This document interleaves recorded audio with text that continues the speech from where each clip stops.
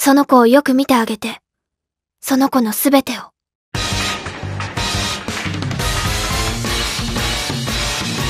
広がる新世界へ誘うは武木龍の羽ばたく翼。